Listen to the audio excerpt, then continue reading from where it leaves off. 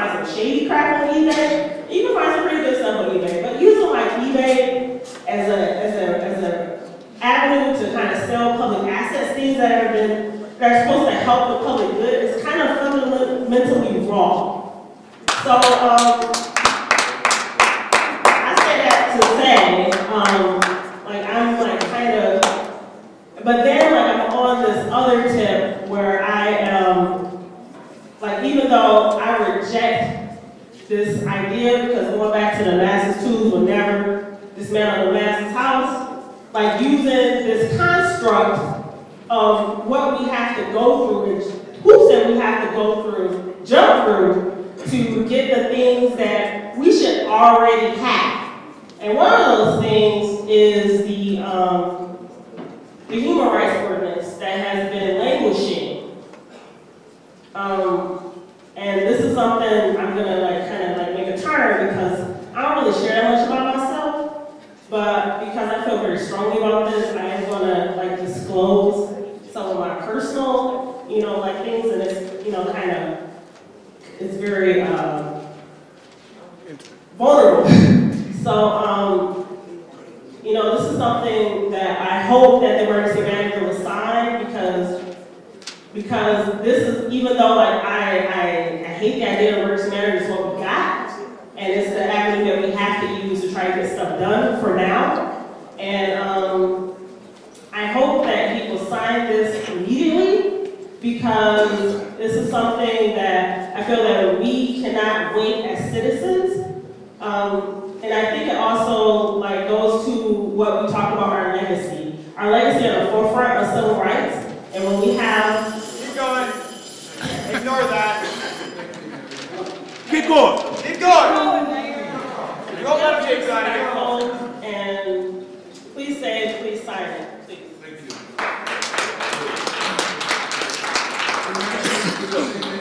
Eric Mays, Mr. Mays. Eric.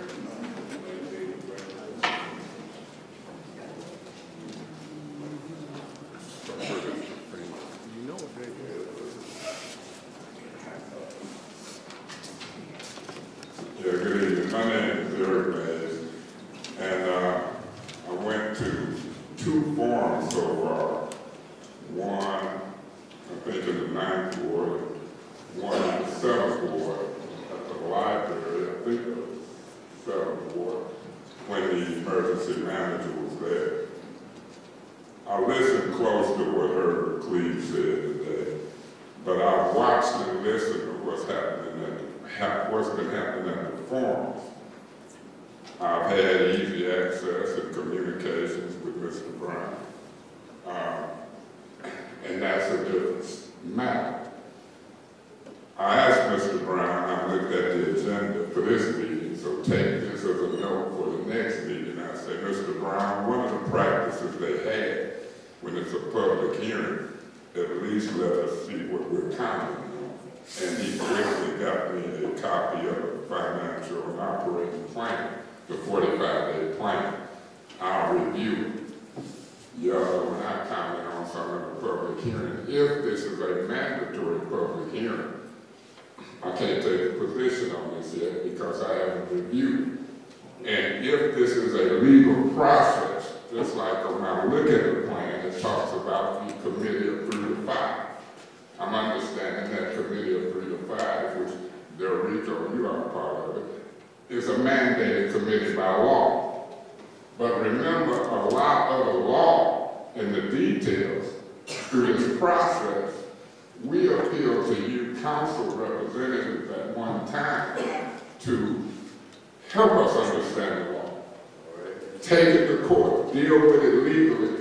We know from what we hear, it might be some litigation out of Detroit. And that litigation mandates that public can come. the democracy might not be all gone, but remember, we gotta get it secondhand because our representatives didn't litigate. The vote was two to seven. That's right. Now, we're here today.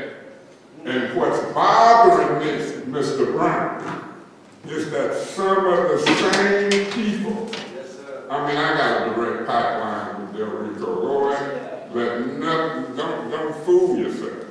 We ran against each other, but he's the same age as my son, Eric. I talk to him all the time. So we've got a direct pipeline with the committee, but in all due respect, Mr. Brown, in this citywide scope of some of the same people who advise you are the ones who got us in this mess.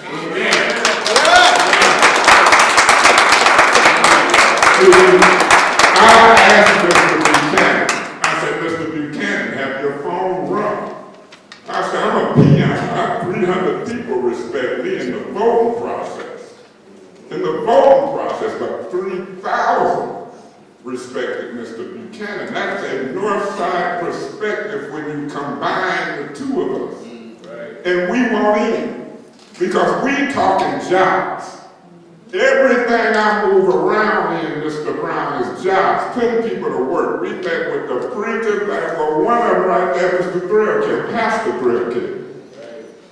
See, when we move around in this community, remember Daddy, I remember Carl came in, we did Shiloh County. Black folks can do multi-million dollar projects. We can put three to four thousand people to work, but this leadership and the leadership of the city haven't listened to us. They laugh because we talking Amway and bottled water. Do you know if I had two, three hundred coming in to me and some folks on the north side, we happy because we got zero now. They cut back social service. I'm gonna tell you something on the record now right here. I was probably the only mayor candidate with a legitimate bridge card. Whoa! Worked with GM for 31 years in this town.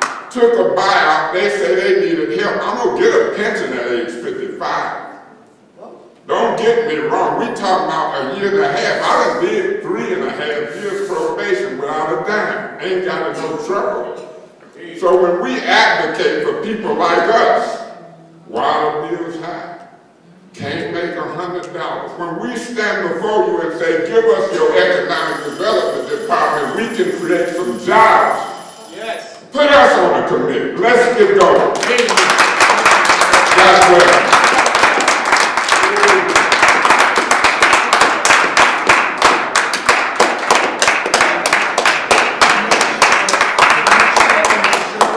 I, I have a hard time making this name up. I think it's Sher, Sherwood, Albert, at five oh five MLK.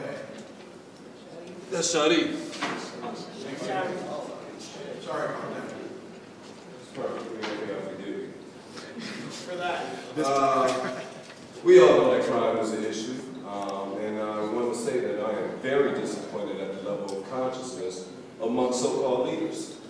Uh, It's one thing to know that crime exists, and our only response to it is to get more police and lock more people up. Add more people to an industrial prison complex, converting them from human beings to prison stock. You know what I'm saying? And it's called employment, and it's called reaching out. It's called building with the community, being in touch with the community, see what the community need. And I've, I've met some of you, but I've never like seen any one of you a day in my life. You know, and it's like y'all supposed to be representing Flint or be the representatives of the people. And it's like, if that's the case, how come me and you ain't never had a conversation? How come don't nobody, look at the numbers here. That shows how many people have faith in your leadership. I don't know you. There's a hundred thousand people in the city, and I'm telling y'all this because we need to reconsider new planning and strategizing and new leadership. Y'all taking orders from uh, entities that do not have our best interests at hand. All right, and that's what the board telling you. So what we have is a board of people who follow orders. You're not leaders at all. You know what I'm saying? Uh, we look at the community, instead of talking about scrap metal, let's talk about uh, why the people ain't in the house to begin with. How come we implement laws to prevent from illegally foreclosing on their houses? This won't be an issue. All right, don't nobody give a damn about uh, stealing from no banks. That's the attitude amongst these thieves. All right, don't nobody live in the house. They figure like they ain't really stealing from nobody. They look at it like, okay, this is an abandoned house, don't nobody want it. I'm gonna get the scrap off this, I'm gonna go make me a couple of dollars. You know what I'm saying? But all this could have been prevented had we started protecting our neighbors from illegally being put out their houses in the first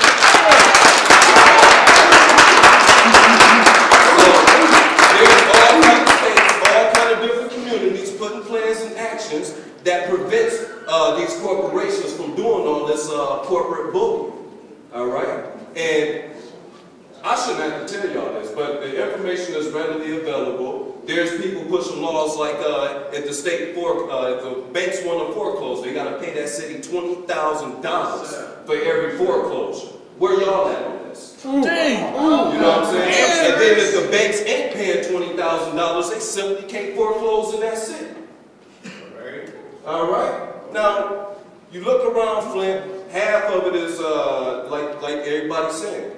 The metal is scrapped off the houses. The plumbing is snatched out. The electricity is snatched out. It's a blight in the neighborhood. It make the whole thing look bad. Now we don't have any jobs. Ain't nobody talking about creating no jobs. But y'all want to get more police, lock people up. You know what I'm saying? So I feel like y'all are enemy of the state. And I feel like y'all making citizens in the city an enemy. Y'all converting people into criminals. This is a process. You know, and it's like y'all sworn the secrets and, and y'all y'all not gonna tell us nothing. Y'all just gonna keep taking orders from the top and that's effing us over. You know what I mean? That's just how I feel about it. So you should smell civil disobedience. You should smell new uh, thinkers coming into development, new people reading law. You know, because sooner or later, y'all will be held accountable for the crimes that y'all committing against the people of Flint.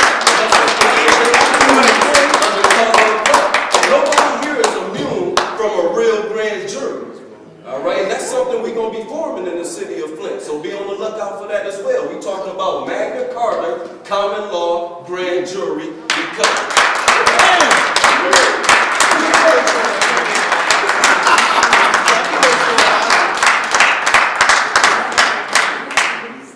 Our next and last speaker is Francois Davis. You don't know, do you? Question, all the questions, brother. How you doing? Uh, Councilman, I know some of y'all, how you doing? Uh, I really, I really came, I really anticipated to come up here and speak, but it seemed like if I said anything, it would be a form of redundancy. And, but I do want to make this statement, though. I have a, a great concern about our community. I hear gunshots around my house every day, every day. And I do want to try to see if there's some way possible that we can get these young people, and some older people as well, to drop the guns and start work. Pick a pencil up if you don't have an education to start work. Even a GED will get you in the shop. But the sad thing about working in General Motors is there are jobs in General Motors, as I was speaking to Mr. Brown about, but they have a referral system. If you can kill the referral system, people can get jobs inside of there that can do great, magnificent work. So if we, that's what we need to work on. In the fifties and the sixties, I wasn't born, but I have a slight education about. Flint wasn't doing as bad as it is now in the fifties, in the sixties, in the seventies either. So we have to ask ourselves the most intelligent question again is why? That is the most intelligent question you can ever ask anybody. And when you find out that answer to that why, then you seek recourse in trying to resolve that issue after you've captivated or become intimate with that answer. Why? Because we have to become intimate with these issues. We just can't come up on this mic and try to be pretentious. Because everybody can speak good, or everybody can articulate a litigated issue. But we have to detach ourselves from our emotions, right? Because if you're emotional when you're trying to litigate an issue or articulate an issue, you never get no work. You never get no progress. Muhammad Ali won all his fights because of what? He made all his his, his, his, his opponents angry at him. He went to all their he went to all their training camps, picked on them, made them hate because they was highly emotional when they got in the ring and couldn't do nothing that they tried to do. So we have to detach ourselves from our emotion. I know we all got issues. We sure we do. And we all live in a bad community, but sometimes the best help you can ever get is from yourself. Yeah. And if one person's trying to do something for itself, and you come together and you try to do something for yourself, then we all, we make progress. You know that guy? So that's what we need to work on. We got good issues, so let's detach ourselves from our emotions. And let's find out what can we do with a sound mind to try to make our communities better. That's all I wanted to say, because I don't want to be redundant. There's a lot I could have said, but I don't want to say it all. But thank you for listening to me. Thank you. very much. The- This concludes our meeting for this evening. Our next meeting will be Monday, March 12th at 5:30 PM here at the Flint City Council. See you then.